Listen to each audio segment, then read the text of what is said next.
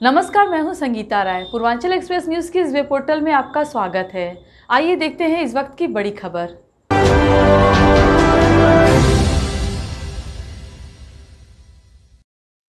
लखीमपुर खीरी थाना ईसानगर व crime branch को एक बड़ी सफलता मिली है। अवैध शस्त्र फैक्ट्री को पुलिस ने पकड़ा है, जिसमें पाँच अवैध तमंचा 315 बोर एक देसी राइफल 315 बोर दो अर्ध निर्मित तमंचा 12 बोर एक देसी तमंचा 12 बोर, एक देसी बंदूक 12 बोर, तीन खोखा कारतूस तथा भारी संख्या में अर्ध निर्मित शस्त्र व अवैध शस्त्र बनाने के उपकरण सहित तीन सातिर अंतर जनपदी अभियुक्त को गिरफ़्तार किया गया है। थाना ईसानगर व क्राइम ब्रांच की संयुक्त टीम द्वारा बुढ़िया नाला ग्राम मदारा, बेड़ा से अवैध शस्त्र अवैध शस्त्र बेचने व बनाने के उपकरण सहित तीन सातिर अंतर जनपदी अभियुक्तों, प्रदीप जनपद सीतापुर, रमेश जनपद सीतापुर व विजय जनपद खीरी को गिरफ़्तार किया गया है।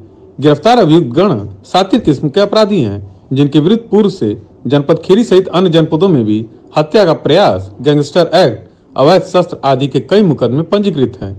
तीनों साथी अपराधियों को जेल भेज दिया गया है। ये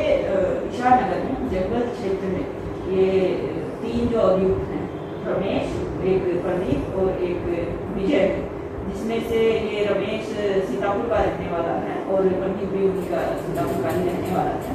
तो जंगल एरिया में ये लोग अवैध शस्त्र बनाते थे और उसको जगह जगह सप्लाई करते थे। इनको दस अवैध शस्त्रों के साथ गिरफ़्तार किया गया है। जिनमें पाँच जो है वो तमंचा, तीन सौ पंद्रह बोल के, दो अति बारह बोल एक जो है देसी तमंचा बारह बोर का और एक देशी बंदूक है बारह बोल की।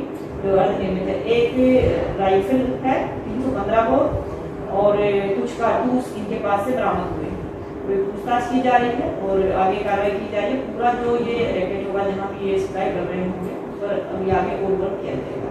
कितने राज्यों